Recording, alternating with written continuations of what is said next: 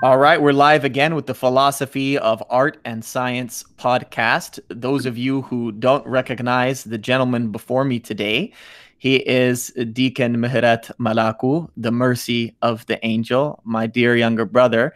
And he is, uh, maybe to his chagrin, he's going to get to hear me praise him a little bit on the forefront. If you go through my YouTube channel, you can find the talks that him and I have done on faith and on Pascha, which is the Orthodox Christian way of saying the Easter or the resurrection of Jesus Christ and the surrounding holidays before and after that. So there are numerous occasions where he is going to be a repeat guest on religious matters. At the same time, he's a concert pianist. And so, in order for you all to get acculturated more, we're going to bring him back for other episodes to teach you and to go in depth about classical music. But none of that is the subject of today. The subject of today is speech and debate and a club dedicated to dialogue that he formed. So let's begin with uh, a hello, Deacon Mihret, and why don't you introduce us to how you got into the world of speech and debate? Well, uh, first, thank you very much, Brother Henok, for bringing me onto this platform and inviting me. Um, I don't know if I would call myself a concert pianist. That's too big of a title but uh, I appreciate everything. Please correct uh, me. Give me the give me the correct title. I want to give you Derbaba Kawak, Derbaba praise. Not too much, not too little. Perfect. Yeah, no. pianist. I like that. Just someone who plays piano. Um, In concerts or no? Occasionally. I mean, recitals, we call them. Recitals, okay. I appreciate it. Thank you. Um, so, speech and debate, my experience in uh, high school um, is very limited. I only took one year of speech and debate. Uh, I had taken two years of speech and debate in middle school, seventh and eighth grade, mm-hmm. and so I uh, was very excited to enter debate. I took it for a year. It was a very nice experience, and then onwards from that, as you yourself had mentioned, tenth and eleventh, I formed uh, a club for civil discourse, and I kind of feel like those stories are kind of interconnected. They have uh, something in common. Yeah, that's that's essentially my experience in terms of duration or time. Yeah. So, what were the forms of so speech and debate? You know, there's so many different types and forms within that. Could you get into a little bit about what at your school were the types in middle school and high school that were available to you, and then what you ended up choosing and and why you got into it, and then maybe why you left? Yeah, yeah. Well, um, when I was in middle school, um, there was only one form of debate that was open to people in my school, and they called it MSPDP, Middle School Public Debate. Uh, uh, I think some something like that. It was created by this professor from I think Claremont McKenna, which is not far from where we're based, uh, and it's a derivation of parliamentary debate. Okay. With just shorter duration and time, and three person and as opposed to two person teams. Meaning, meaning, yeah, three on three. Yeah, three on three, two on two. Yeah. Uh, and then after I finished eighth grade, culminated, I was uh, transitioning into high school. There were three options that our high school presented to us. So we have uh, parliamentary, which is I think probably the most popular format of debate. Then you have public forum, and then there, we had Lincoln Douglas.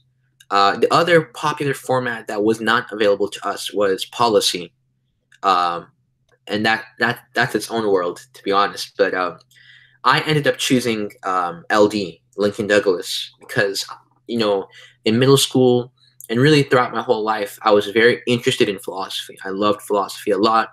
You know, I read a lot of philosophy. Um, I still do, and so I heard that LD was one of the more philosophical um, formats of debate that they tended to go more into that, whereas the other two kind of were more on policy. So I ended up choosing that, and that's as you know, it's a one-on-one format. Um, Which is interesting compared to the team formats that we just discussed, the two-on-two versus the three-on-3. Mm-hmm. Yeah, for sure. What What do you What do you think of the merits of one-on-one versus two-on-two versus three-on-three?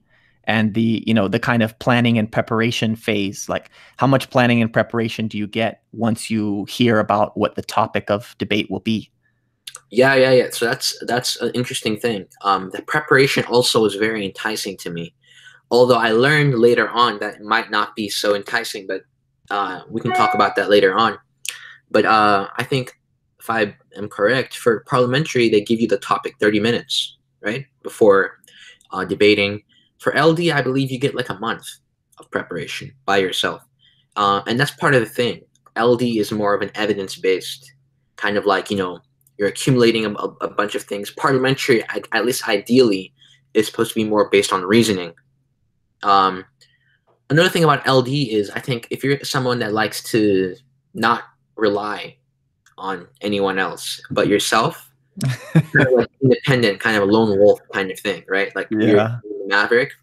Whereas parliamentary is if you have someone that you have like a really good bond with, that you know you can work well with, it's kind of like a, a demonstration of ensemble unity, you know, like yeah, I had the most disorganized. I was a parliamentary debater in college, and I judged high school debate. And when I was, uh, I, I, I, judged for Lincoln Douglas before, which, by the way, for those who can't tell, famously named after the the speeches between eventual President Lincoln and his adversary Douglas. But I I was in parliamentary debate, and we had about 20 30 minutes of prep like you said so it's like you're you're being very reactionary and you're reasoning on the fly so it helps that what uh, our our blessed bishop barnabas refers to as yazara fatimirt where someone asks you to to teach or speak on a certain topic and you just you know you're ready to go which means you have to be well read on a number of subjects like a, a form of a a generalist but it's interesting. I had many different partners. Part of that is that i spent a semester in DC. Part of that is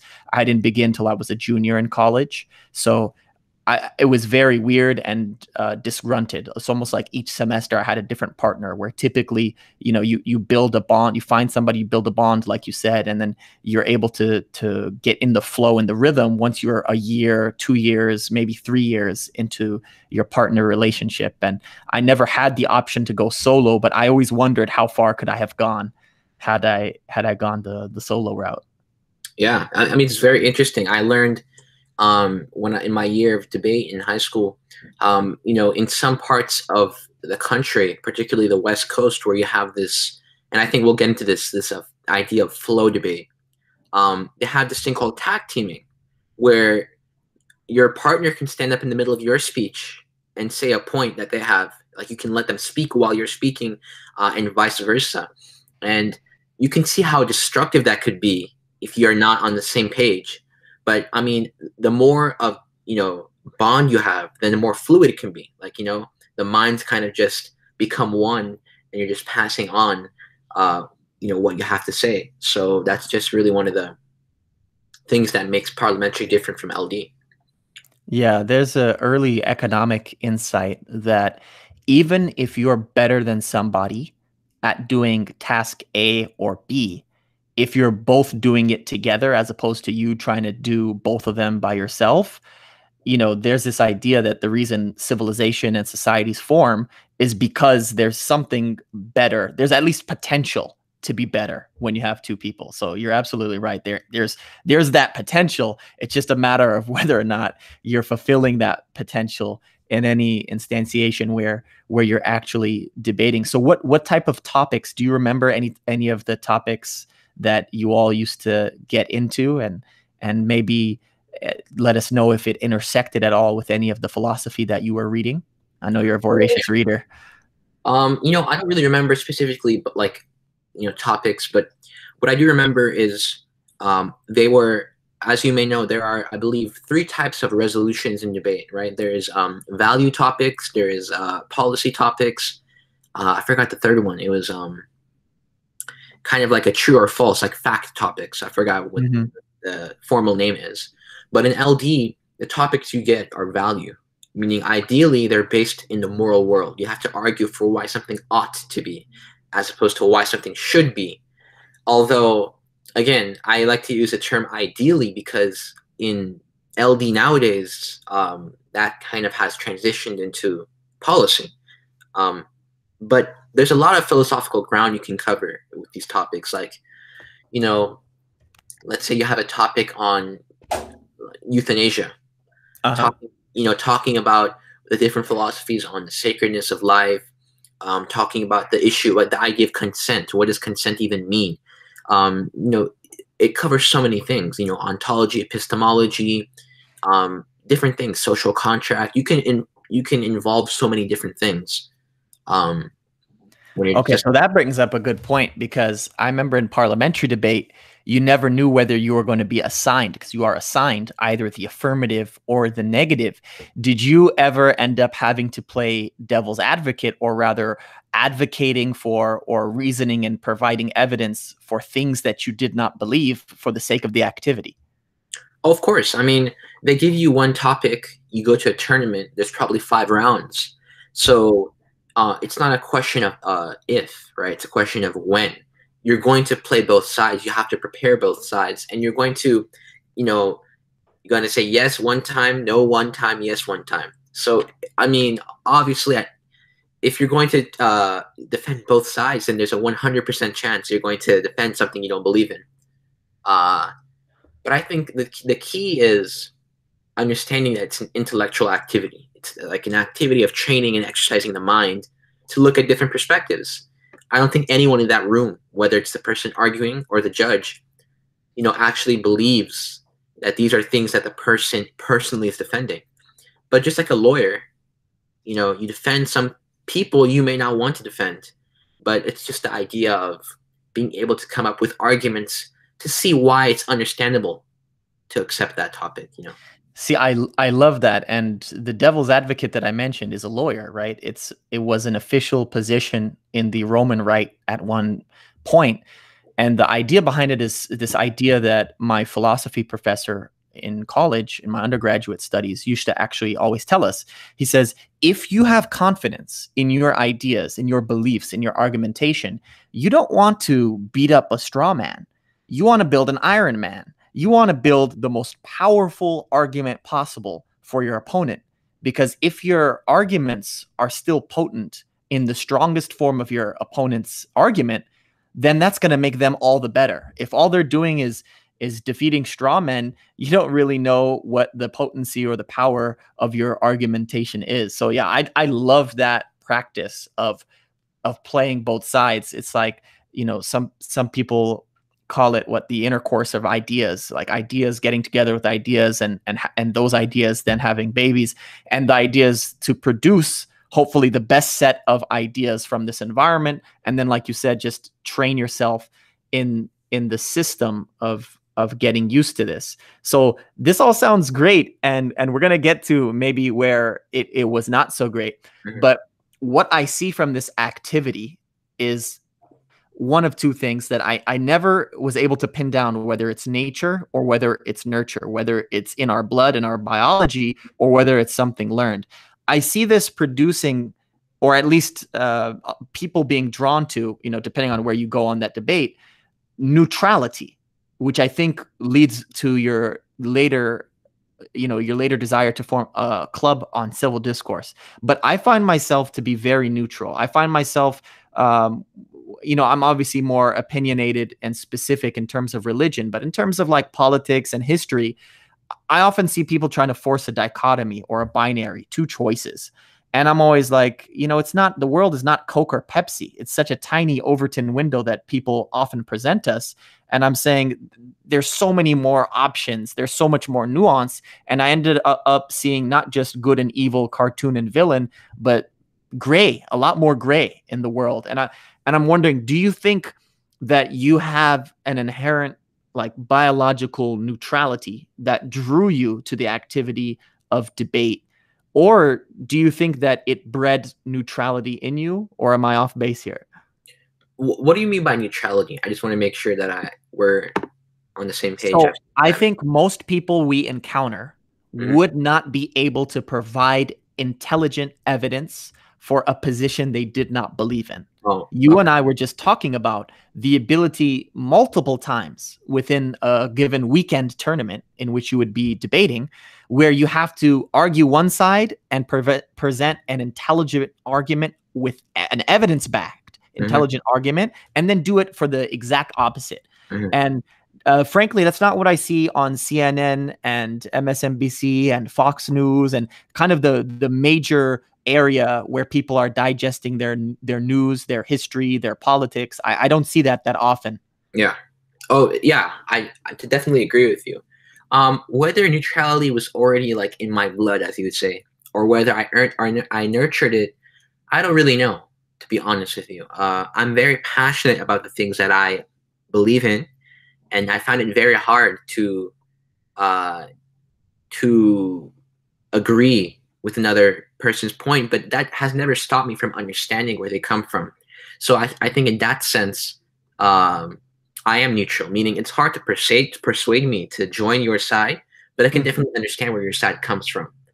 Um, You're willing I, to hear someone out, which a lot of people are not. Um, if my word neutrality is not the most appropriate, please, uh, I'm open myself to, to to demonstrate what we're talking about. I'm open to another term that that you could think of, but to describe like what you're saying, maybe it's empathy or the willingness to hear the, mm. the trait openness to be able to hear out the logic behind someone else's the uh, curiosity i don't know is another term we could use i don't know if you have another word for it i, I think neutrality is good um, although sometimes it might be confused for someone who doesn't take a side um, but i understand what you're saying and i think our viewers your viewers would understand i guess also the definition but yeah uh, i think that person would be more nonchalance or indifference. Mm.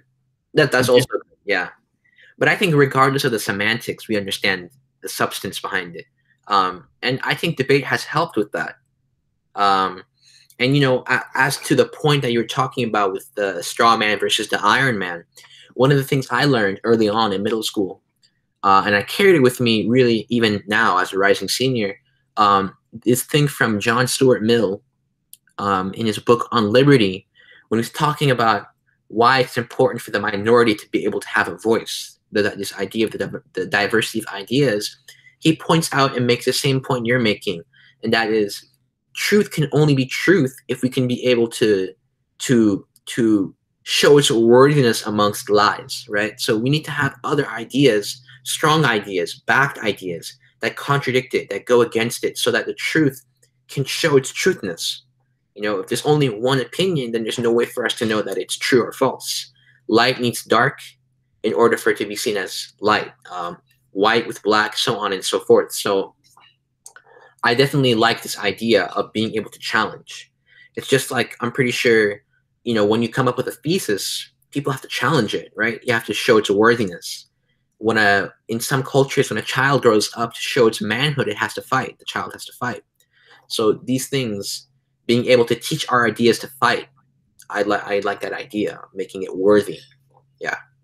As a lifelong martial artist, a practitioner of jujitsu and taekwondo, and a future practitioner of Muay Thai or Thai boxing, I absolutely love your your illustrations. It's it's cinematic. In my head, I was picturing the ideas engaging in combat sports, and I loved it.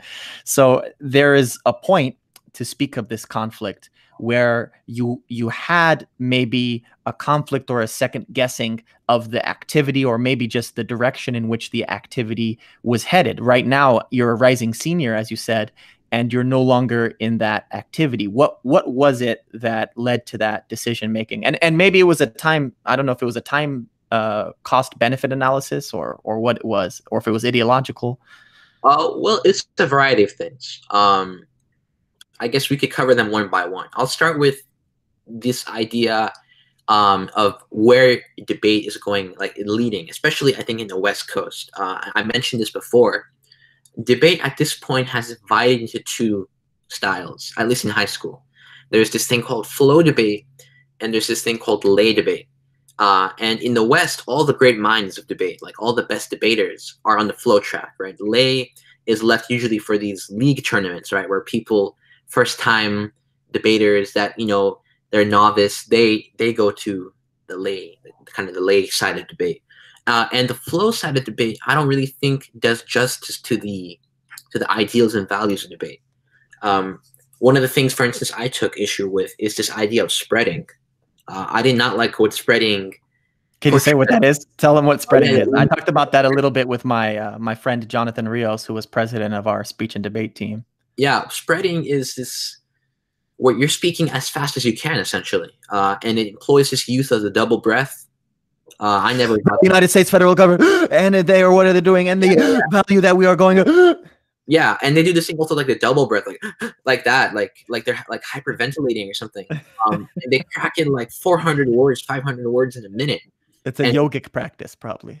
And the the best the best of the spreaders, you can't understand anything. And so what's happened is public speaking has gone out the window. Like, you know, in flow debate, no one cares about speaker points. Speaker points really you get higher speaker points when you win. Yeah, and So- you you've uh, won at least one multiple awards for speaking. Yes, uh, yeah, I've gotten first place, you know, uh, speaker awards in high school in my first year, and plenty in eighth grade. I won. Um, they have gavels right for the first place speaker. I got them at almost every single tournament. Um, but that went out the window in high school. This idea of employing pathos, timing, these things that are that are key uh, to to good speaking went out the window. And so then what happens is everyone's spreading all over the place. So then they give the judges and the other teams uh, their file with all the things they're reading. And so at that point, you say, what even is the point of speaking? You might as well just read in silence. Just Right. email them your files Just email them the file exactly, of your evidence. and then you type in your refutations, and then you- you And for it. those who haven't been on the judging side, as I have, the judge is supposed to be taking notes of what people are speaking about. And so, because some of us judges have been enculturated into this culture of spreading that Deacon Mihret is talking about, you know, I, I can understand it. But I think the the larger point is that there's a popular audience, you know, the parents, the family members, whoever else may be there, school teachers, whoever else is involved. And if they're less involved than the people who've participated in the activity, it would not be intelligible. And as he said, the people who've perfected this particular skill, which means they've gamed the system uh, with the rules that stand, they're not cheating, but they are pushing the rules to the letter of the law rather than to the spirit, as we would say in religious language that is lathered with the King James English. And and they're abusing the spirit of the rules of the game. So you you said you didn't that didn't sit right with you. And what I love is a lot of people critique something and they do nothing. They sit on their laurels and they twiddle their thumbs. Mm. But you did not do that. You critiqued it through your action. You said, I am critiquing this activity. So rather than just complaining and crying and wailing, I'm going to create and craft my own space, my own activity. And it's such a beautiful thing. And it's what I'm trying to do with this platform. So you created your own platform. Tell us the name of it and and what kind of was the reasoning behind why you made that. Yeah, so the name of the club is Civil Discourse, and that's like a very vague thing. You can apply that to anything. But I like that phrase, civil discourse, because that's exactly what I'm aiming for. And that's what I, I think drew me to debate. This idea where you can discourse, discuss with other people, with other thinkers like you, uh, and bring forth ideas in a civil manner. It's not arguing, it's not even debating. You're not even trying to prove the other person wrong. Uh, it's just a symposium, if you would. I don't, I don't know what you would call it, but it's a meeting of minds. It's a discussing. Um, I think some of the best places. Uh, maybe are you frozen? No, Oh. I hear you. Oh, Alright. You said it was a symposium? Yeah, I guess you could call it. I don't know what you'd call it, but it's like a meeting of minds. I think is the best way to call it. Um, I think some of the best places for civil discourse have occurred in you know like cafes, restaurants, uh, where, where great thinkers come and they just discuss over food, over drinks. And I was trying to, to kind of bring that informal environment of you know peaceful and civil discussing uh, into a more formal environment where people could say, "Oh, this is an area where I can civilly listen to other people's opinions, bring forward my opinions, uh, and inform myself about not just opinions, but the people behind opinions, their experience, what led them to the embracing of that opinion." I think oftentimes we're so focused on the argument, on the assertion, on the claim or opinion, whatever you want to call it, that we forget that there's a person behind it. So it's worth us inquiring as to how did you come about to this opinion? What led you to that opinion? Because I think that can give us a lot of insight um, into the opinion um, by personalizing it, personalizing it, humanizing it, uh, and above all, using that term you already raised, um, empathy. Empathy. Yeah. So that's yeah. whole. So, in in my graduate studies, my discipline was what was called at the time alternative dispute resolution, and right now what's simply called dispute resolution. And the foundational idea is that we have all of these processes: negotiation, mediation, arbitration, litigation, legislation, all these shuns. And when these things break down, these informal and formal processes, what is left is what Hobbes would call the state of war. Mm. It's fisticuffs. People fight. It's what you see when Antifa and the Proud Boys, you know, punch the Nazis and punch the the pinkos or the commies. You know, they just get into fist fights. And sometimes it goes beyond fist fights where we saw, you know, like in Charlottesville, uh, psychopaths driving actual vehicles into um, crowds. And that one's intentional. I don't know if it was intentional. It seems accidental, perhaps. But there was a Habesha who did something recently in the Northwest, in Seattle.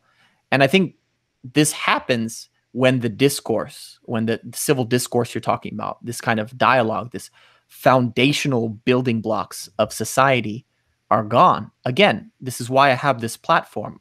Everyone who's on here doesn't have 100% agreement. People have so many different ideas. But the one basic thing everybody who's on this platform agrees to is if not the supremacy, at least the the role and importance of conversation, of Mhm. dialogue. And so I really appreciate again like that you made this space for that. Now I'm I'm interested to hear. You said there were no debates or arguments. How, how many of the people, also given you you've mentioned the West Coast a lot of times, right? The milieu or setting in which we're in. How many people had disagreement or how much disagreement was there? How much diversity intellectually was there in the civil discourse club that you brought up? And and what sort of topics did you discuss? Okay, yeah, that's a great question. Um, I guess I'll start with the first, uh, and that's were there disagreements? The answer is yes. Obviously, there were disagreements. Um, I think it was very hard for me to find an intellectual diversity in my school because where I come from, I live in Santa Monica, which is in Southern California, in California, in the West Coast. So that's a bubble within a bubble within a bubble, right? We're on the like the left, left, left, left, left. So to to first off, the endeavor of being able to coax out the centrists, the conservatives, the people that don't share the majority opinion in my school was tough. That was an ordeal in and of itself. And then learning how to settle uh, and resolve those arguments um, was also uh, its own endeavor. But I think it was as it was not as hard as I envisioned it would be, or as I thought it would be, um, because I think people oftentimes they don't really want to argue. You know, they get carried away. You know, they uh, and I feel like if someone can step in and say, "No, this is not the time. This is not the place," and if you have multiple people say, "Yeah, this is not the time. This is not the place," then I think people can be calmed down. Uh, and I had the the the luck of getting a lot of people that didn't want to argue, um, people that didn't come to to prove the other person wrong. So for me, it went quite smoothly. But of course, there were arguments. Uh, a lot of the topics we discussed um, were topics that were designed for controversy. I picked them, and I knew people would disagree on them. For instance, uh, you know, the topic of of abortion, um, the topic of police brutality, of racism. These are things that a lot of people have a lot of mixed views on. Um, like, for instance, you know, with abortion, definitely, you know, the whole spectrum going, you know, from pro-life to pro-choice uh, renders a lot of different arguments. Um, the say the sanctity of life, the woman's right to choose. These are different, you know, different big issues that were brought up into the discussion. Uh, in terms of police brutality, you know, ACAB versus Blue Lives Matter. You know, those are two different, you know, parts of the spectrum and everything between. All those different things. Um, And people are didn't have to Google some of those things to know what they mean. well, yeah, I can clarify just briefly. ACAB is this um, phrase which stands for "All Cops Are Bastards," and Blue Lives Matter, as you know, is a slogan that was created, I guess, in response to the movement of Black Lives Matter. Um, and so, the two of them, I think, you you can feel free to choose whatever you want. Uh, each one has its own truth. Each one has its own experience. And there's also, I always want to stress that there's also a bunch of opinions between mm-hmm. these. Um, another one, an interesting one I brought up was um, the Asian American uh, lawsuit against Harvard University, uh, oh, yeah. action. For me, saying that they were being discriminated against. Discriminated against, yeah. For me, as a as a black man, I was always very confused about how to feel about this, because you know, on one hand, I feel like affirmative action has its benefits. You may disagree, but I feel like it has its benefits in being able to raise African Americans and other minorities that are, um, you know, that are put down to raise them at the same level as as others.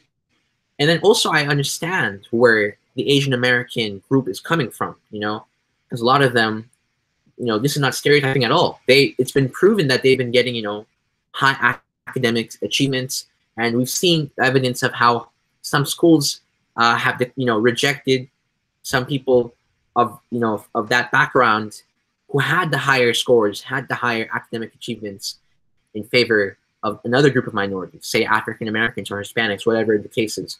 Um, so that was an interesting one to see people's opinions. I think I would uh, I would add a nice monkey wrench into a lot of these debates. As for the pro life, pro choice, I don't know if you've ever come across Dr. Walter Block has what he calls evictionism. And he has this belief that he's an evictionist, but then goes pro choice until the science is perfected. I would be likely an evictionist that goes pro life until the science is perfected. And so his his third avenue view to to flesh out the spectrum that you're talking about is that it's not and to talk about again what left to left means sometimes the words left and, and right there you know it's hard misnomer it's like by left by the far left spectrum do we mean stalin or do we mean anarchists because those are different things mm-hmm. you know do we mean bernie sanders or do we mean uh, someone like um, I don't know who'd be a, a, good example. Maybe Ralph Nader or Dennis Kucinich. Um, and, and even those aren't the best examples. But like there there's a there's a difference between someone who maybe wants to use left ideas through the state as a vehicle or in a centralized fashion versus someone who has left ideas that they would rather see come about in a decentralized fashion, perhaps either with the state or with a um, a minimal state. So anyway, his evictionist position is that the woman doesn't have the right to kill, as a lot of people would say, but has the right to evict. And so the de facto thing, given the science now, is that that would lead to death. Um, but there's like, but but the distinction is that you cannot evict and then kill. Like you don't have once once the eviction is done, you don't have the right to like hunt down in the way you know Zimmerman would have hunted down Trayvon so many years ago. And uh, the idea there is that if the science got good enough and the the fetus was viable through eviction, they wouldn't have the ability. Let's say, like with the analogy that some dense people make, I, I had I'd mentioned one judge I had come across was so callous that they said it was it was the same thing as clipping your toenails. You know, the act. Um, so that showed you, you know, kind of the the the level of the activity they were being and like you said there's a spectrum of first trimester second trimester third third trimester and um in in terms of uh wh- what was it there was acb and police sorry i, I missed my thought what was and there was a, there was a different there was a different discussion or debate too uh i was mentioning with like police brutality there is acab and blue lives matter you know yes yeah um God, there was another one too you had mentioned. Uh, affirmative action. Affirmative action. Thank you. Affirmative action. Another monkey wrench I would throw into the affirmative action discussion is a lot of times people are worried about, you know, is it a meritocracy or is it reparations that we're doing? And I think the biggest issue is actually the that a lot of this stuff is because of the federal funds that a lot of universities receive, which makes them subject to federal law.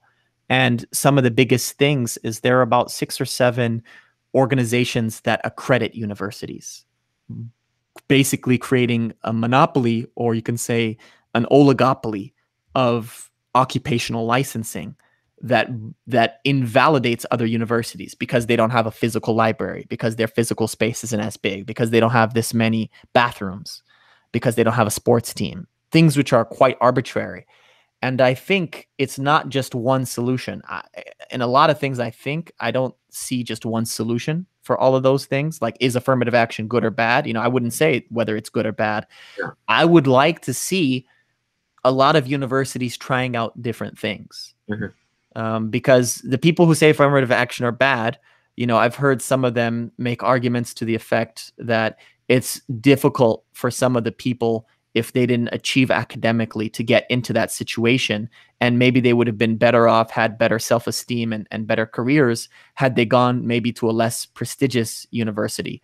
At the same time the people who say it's good are talking about how there were people who were literally, especially ADOS, right, African descendants of slaves, who are literally marginalized by the state, and so the state owes them some mm-hmm. sort of of restitution and and reparations. And then the question is, you know, is it ad infinitum? Is it forever um, unto ages of ages, or you know, are there are there limits on on the time span where we're talking about? these restitutive or restorative processes. So yeah, so so so thank you for for doing that. And what what was your role in the Civil Discourse Club? Like are you just one amongst the many people engaging in these discussions or are you a facilitator, a leader in some sort, the the kind of arbiter? Yeah, yeah. Uh, well, so ninth grade debate, uh, I finished the summer. I was accepted to this uh, organization called Seeds of Peace. They're located in Maine. Um, so I went there and they had a camp for I think about three weeks. Um, it's the organization's dedicated to conflict resolution. So what they did was they put you in these dialogue huts, uh, and every day you go there, and for I think around two hours, they'll put you with a bunch of people, you know, that you're very much at odds with.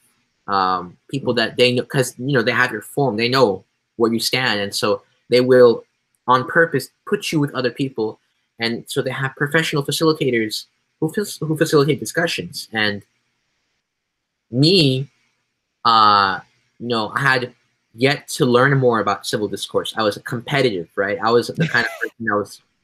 Let me hear you very much. I want to listen to your opinion, but I'm not going to be persuaded. So that means it's my turn to destroy your argument. So I didn't like this idea of dialogue.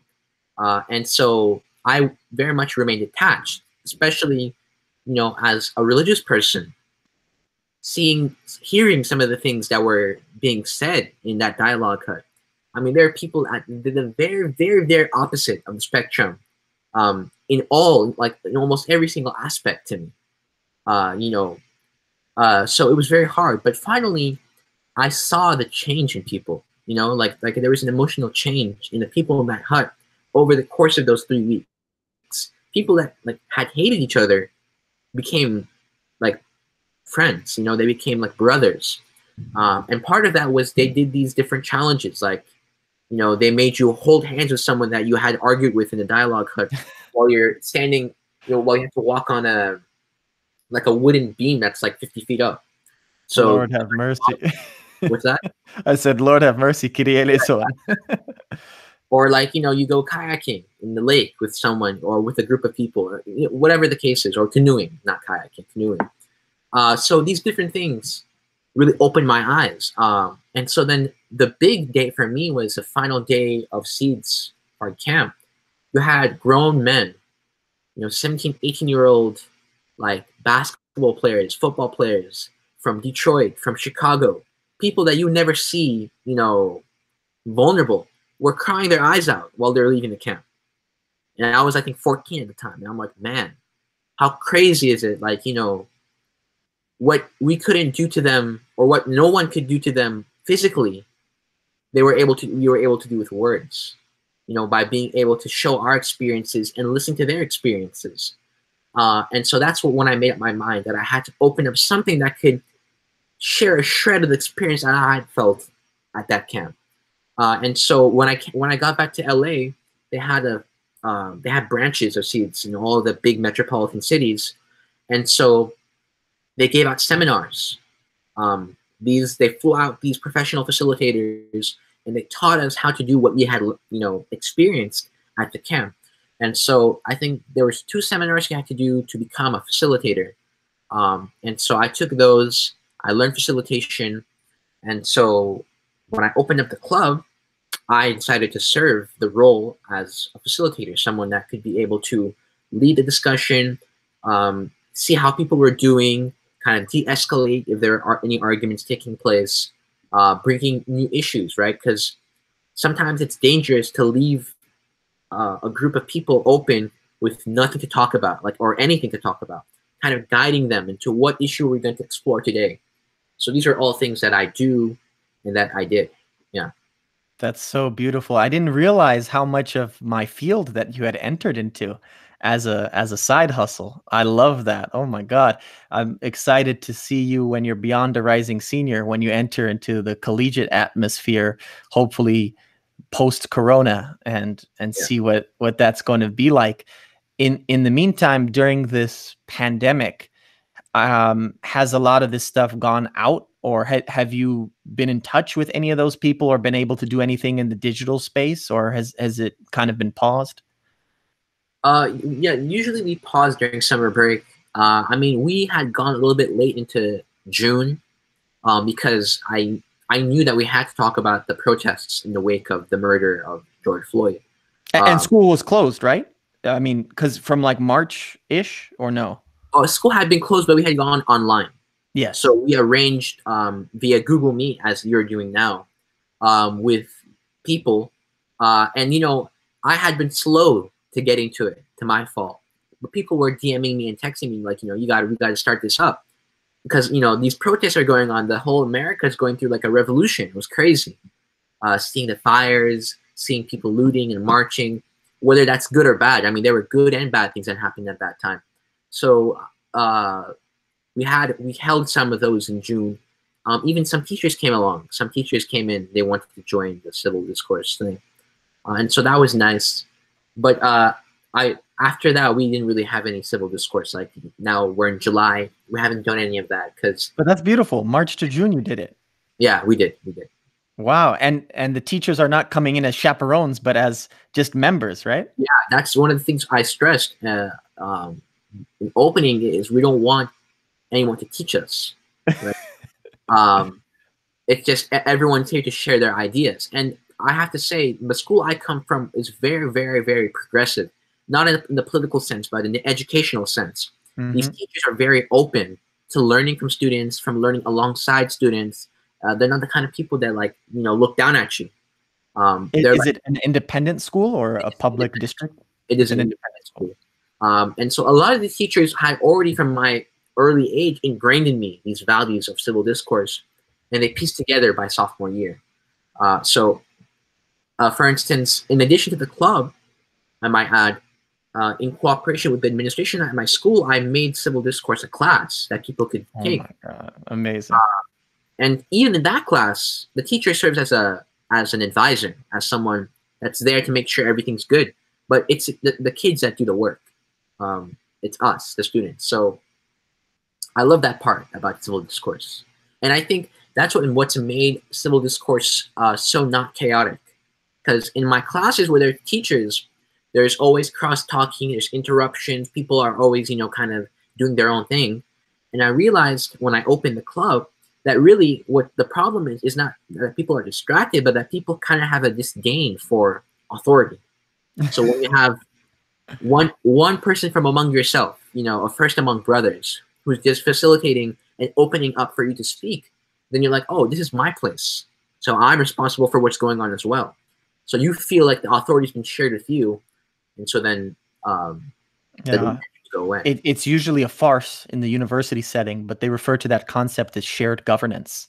and you feel a, a sense of uh, ownership of it. The idea in the university level, again, it's usually a sham and a farce, but the idea is that there's this hierarchical or stratified set of presidents and vice presidents, but that the faculty and the staff have some sort of say as well in the in the leadership that that goes on and so you know there's some pretending about who listens to who but in your setting and and part of that may be scale you know it's it's i don't know 20 30 people or less versus yeah. like thousands of people 18,000 people it's hard it's hard to scale that level of of intimacy it's it's why i think direct democracy works greatest in villages mm. and not so much over 300 million people and sure. it's some of the warnings that the founding fathers had in in their own documentation 1776 was not the beginning of democracies the ancient greeks as we know from history and through reading had experimented a lot with their various uh, paropolises and and uh, and cosmopolitan areas with various forms of democracies and and republics i, I want to get into i think a, a very interesting thing that you began recently but before I, I get into that, I think the, the best segue would be can you tell us, are there any differences, whatever, or could you compare and contrast for us the Civil Discourse Club as you met face to face versus when it was in Google Meet or here in, in the digital space? What, what, what was the same? What was different? Um, well, I, I can, I, I don't know. It's interesting comparing them. Um, well, you see, everyone has their cameras on, the mics on. We're talking just like you and I are. So uh, you can feel that it's a person-to-person thing, but uh, that's surprising, by the way, because I've been in a lot of different avenues, and not everybody turns their mic on. I was in like a meeting just a day or two ago, and it's like half half or less. Yeah, yeah. But I think what's different, I guess, is there's just something I can't really put my finger on it. But there's something about just physically being in the presence of other people. That's just different. And also, you know, from the technological standpoint, being able to segue from one person to another person speaking can be a little like awkward, you know, uh, versus when you're physically with someone, you can take the cue that someone has stopped talking and you can open your mouth and speak. It's a little different when you have lagging and the time's a little different.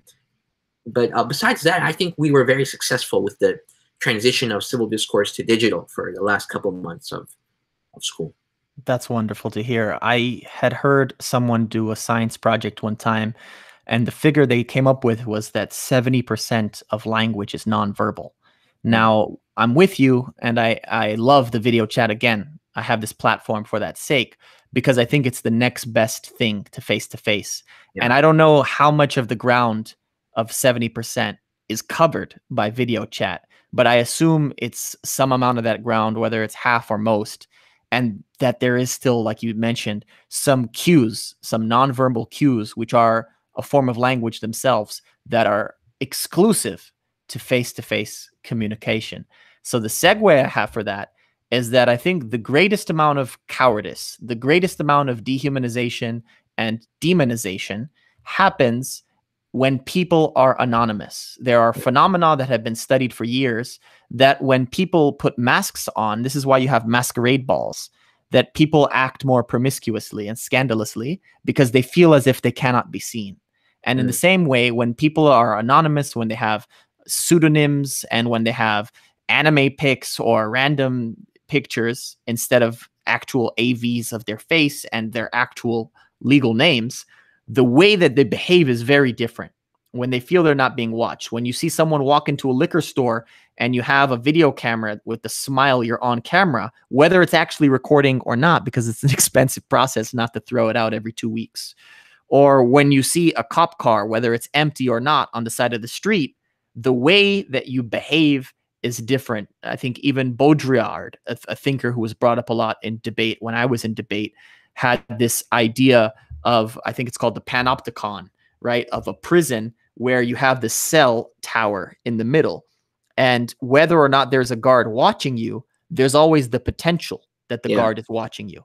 And so the panopticon again affects the way that you behave. So mm-hmm. I have found a lot of vitriol and I have always believed firmly that there's something wrong in social media And so for a while, I didn't want to participate.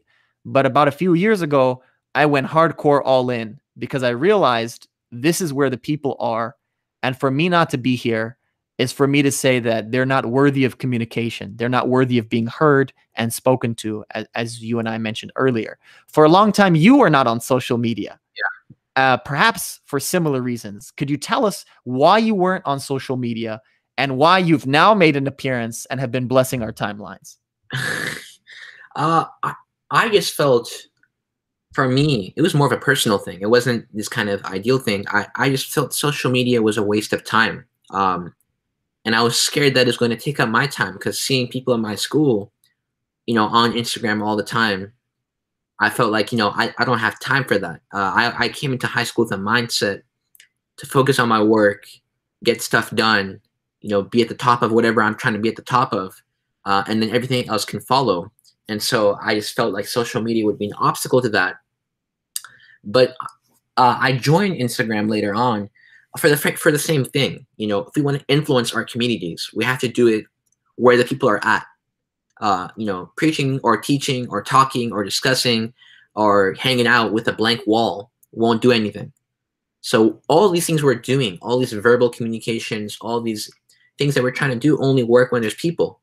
So, you know, I decided to join the social media social media community, I guess you could call it, uh, to be in touch with people uh, I still understand and I'm very, very aware of the flaws uh, and the dangers of what happens when we become too reliant or addicted to social media. Uh, but you know, I've made sure to make sure you know to go into social media with the simple intention of influencing positively, sharing my ideas. Yeah, so that's that's why I joined. I I love that, and it shows the sheer confidence in the power and the potency of your ideas, as we've been talking about. And you know, uh, how how could I phrase this? I have a theory, and I, am going to ask you uh, some questions that I think will point to my theory, and then we could have a, uh, an interesting kind of talk about that. Mm. So, I have a theory there may not be so many people quite like Deacon Mihret Melaku at your school, even though it's a nice progressive independent school in the city of angels that we've grown up in. So, how many Ge'ez Rite Orthodox Christians would you say there are at your school and in your larger friend and network group? Widen that out to how many Orthodox Christians, be they in our communion or in the Greek communion, widen that to how many Catholics. You could even widen it out to Anglicans and and other types of Protestant Christians who genuinely believe in the faiths that they are in, rather than just people who go through the motions. How, how many people would you say are, are in any of those groups? Does that include people I'm friends with at church? People I communicate with at my church? If they're your peers amongst your peers yeah. I'll, I'll, accept it at our church as well as in your school. I'm more interested in your school network oh, and, school. and the, the, network but but you can include peer any peer just amongst your peers. Uh that that i talk to face to face or online as well? Both. Both? Both both. I don't know how many uh and uh, please estimate. We don't we don't okay. need this is not a sort of a scientific study. I think uh, I've had the opportunity of going to different places across the country uh, for religious purposes to get in touch with the church communities there. Uh, and there's plenty of brothers and sisters out there that I've come in touch, uh, both in America and also in Canada. Shout out to Toronto. So uh, the peers, um, I don't know, I would guess maybe it's not even that much, but maybe like, I don't know, 50, 50, 60 of people in the in the good is right, Ethiopian Orthodox uh, Christians to be honest, and I feel like this is something I need to change. I don't know any Orthodox Christians outside of of the Ge'ez communion communion. So I think that's something I need to work on, getting in touch with our Coptic brothers and sisters, uh, Syrian, uh, Malankar Indian. Uh, I do have some peers from the Eritrean via online. Um, but that's uh, why I said good is right because for me, the Eritrean distinction is a political one. Yeah. It's not it's not really uh, liturgical one. So G is right refers R I T E refers to the kind of the rituals, the liturgy, the books. I have heard that even today, after 20 plus years of political independence, the Eritrean church does not have what's called biluyat, right? The Old Testament scripture interpreta- uh, interpretive tradition or the the biblical school of Aksum that is in Eritrea does not have it in Tigrinya. To this day, they are interpreting the scriptures in Amharic and in Ge'ez. I've heard that they have the Haddisat or the New Testament translated so that mm. they say it in Ge'ez and in Tigrinya as opposed to Ge'ez and Amharic. But I'm sure some of them are still doing it in Amharic too. And some of them are just crossing the border, you know what I mean? Because it's it's literally the same tradition. It and it, it really is a political. It's not to to put down our Eritrean brothers and sisters but it's you know it's not a unique situation. It is part of the same uh, tradition as referring to the orthodox christians of yeah. eritrea not not the other faiths. Yeah yeah. Yeah definitely definitely for sure. Uh, i like that. Good is right. That's great. Um, but yeah in terms of of other orthodox christians i haven't had a communion uh, you know, like you know uh, what's it called? Communication with them. Although i think now going into college i think after a year i'm going to go into college. I think i, I want to uh, reach out and network with people from again, like I said, Coptic, Indian, um, Syrian. Who else do we have? Armenian, Armenian, Armenian, and then also with Eastern Orthodox, not just Oriental, but the Greeks. Uh, who else are there? The Russians. Slavs, yeah. Basically, the Greeks and the Slavs. Yeah, exactly. Yeah. Yeah, yeah. I basically just refer to the communions. This is a funny, just a, an aside for our religious fans, but the way I refer to the communions is I refer to our communion at large as the Afro-Asiatic communion because mm. of the two base languages in the See of Antioch and the See of Alexandria, which are Coptic and Syriac, and mm-hmm. both are within the Afro-Asiatic language branch, and that's mm. the basis of the liturgies and of the traditions.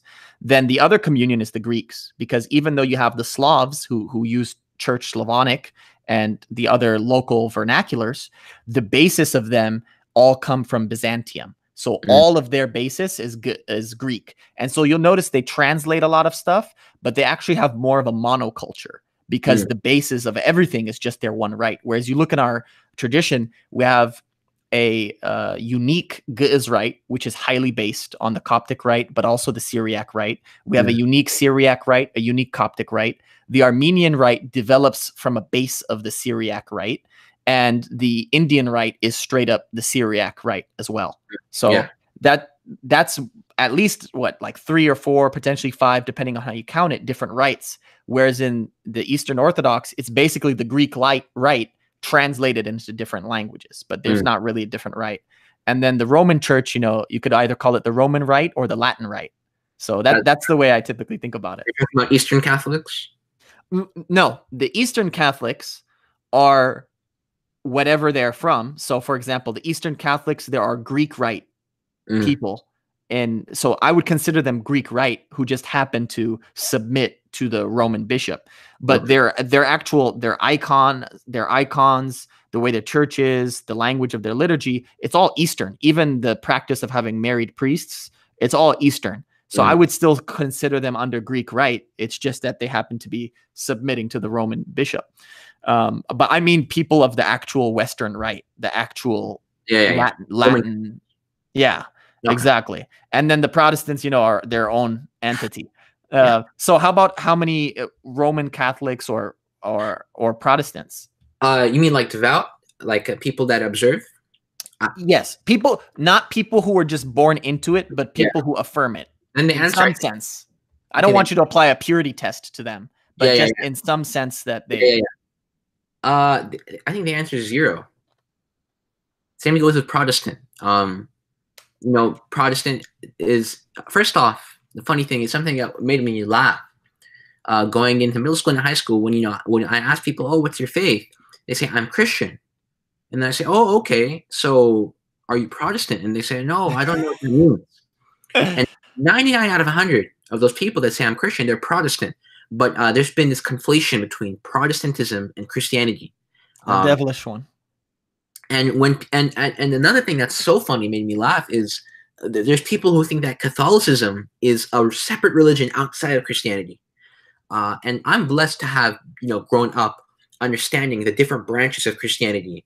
Um, but it just makes me laugh. Um, yeah, because to go back to your conversation about police brutality, you know, I don't I don't buy into all of the progressive lexicon on the subject, but this idea of privilege that I think is valid is that when you are the marginalized person, you have to think about your blackness. Mm-hmm. You have to think about your queerness because you stand out from the crowd. You're different. Whereas when you are the majority, it's it's you don't even think about it. Mm-hmm. So most often you don't think critically about the subject. Mm-hmm. So that most people who are Protestant do not self-identify as Protestant. Yeah. It is a label maybe that the original people would be comfortable with, but more used nowadays by their opponents and their adversaries. Mm-hmm. They would, I think, mostly identify as quote unquote non denominational Christians. Uh, that's another. It's an, it's an impossibility because you, ha- you have you have certain stances on the sacraments. You have a stance on baptism. You either are for baby baptism or you're not. You have stance on the real presence in the communion, in the flesh and blood of, of Christ. Yeah. You have a stance on the priesthood. You have stances on all these things, on on icons. So you inherently on what what prayers to use, what Bible you're using. Yeah. You know, so you could be, I tell them, multi-denominational. Mm. But you cannot, or you could be mono-denominational, just one denomination, or yeah. even bi-denominational. What you cannot be is non. You can't be non-partisan, and you can't be non-denominational. You can't be non-ideological. You can have some sort of amalgamation of ideologies of partisanship and of denominations. But you know, this idea that we're in uh, Fukuyama's world where the current form of democracy is the end. There will be no more wars, as Steven Pinker tries to tell us. Um, it's it's a fanciful view that I think worships the present and a more measured tone examines everything in the past, examine everything in the present, and and grasps the good, as as Saint Paul would say. So the reason I brought up all this line of thinking, if you don't know where I'm going, mm. is that a lot of the direction of your messaging the pre- the presentation of your ideas. I've been again. I know you you you you laughed or guffawed at it, but uh, again, I don't give false praise. I'm just not in the business of that. I don't gain anything. I call a spade a spade. You've been blessing our timelines with holy imagery and reminding us of the monthly holidays, reminding us of the yearly holidays, and talking about these the matters that are above, as Kasis Diba Kullu uh, sang about on his album. Yeah. Balayalon asabu. Think about the matters that are above. Is that Colossians or? Yeah, is that Philippians or Colossians? Which is yeah. what is it? I forgot which one it is, but St. Paul. yeah, yeah, it's St. Paul. It's a Pauline. And so balay balayalon nagar tasval. You think about the matters that are above and you present those things. So you're you're thinking about them, you're speaking about them, you're doing them through your social media messaging. Mm-hmm. I I know this as someone who has been a, a sort of a, a, pariah amongst my various friend groups and stuck out in this way, and it takes a certain amount of temerity because eh, other people have a certain threshold of their peers doing the same thing that mm-hmm. they would need, and they would need immediacy of that. But you yeah. seem to be a voice alone in the wilderness, so I I have to wonder and ask, what have been the reactions of your various friends who are not of the Ge'ez Rite? Who are perhaps more secular, or I don't mm. know if they're Muslim, Jewish, Buddhist, or Hindu. Yeah. Um, I assume they're mostly secular, but they could be other things. What has been their reaction to this messaging? Uh, you know, uh, I had thought about it. You know, when I began first um, posting these kind of things, how are they going to think? Because the the Mihret that you see at school uh, reveals nothing really about uh, the things he is outside of school. You keep your cards close to your chest yeah because i focus more just on on education and then you know on the usual the game that happened last night or you know the movie that came out you know whatever whatever it is that we talk about. The not, talk. usually not matters of orthodoxy. Yeah. Uh, the but, earthly things the opposite of above the below things. Yeah yes yeah exactly.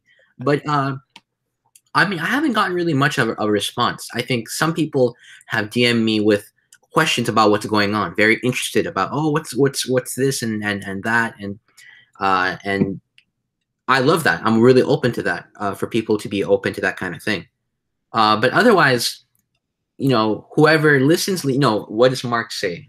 Whoever has an ear, let him hear. That's what our uh, that's what Christ said, and that's what the, our priest says in our right after he finishes reading the Gospel of Mark. Whoever has an ear, let him hear. Um, so my thing is, my target audience is people of my age, my generation, that are part of the Ethiopian Orthodox and Eritrean Orthodox Church. You know, the Abisha uh, Orthodox Christian in general.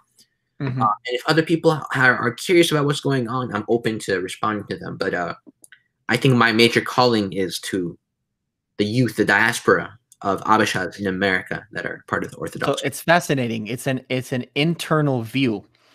I don't know if you know this. I spoke about this with my Bible study group, which I host on on Sundays, mm. and there are two main visions of two bishops.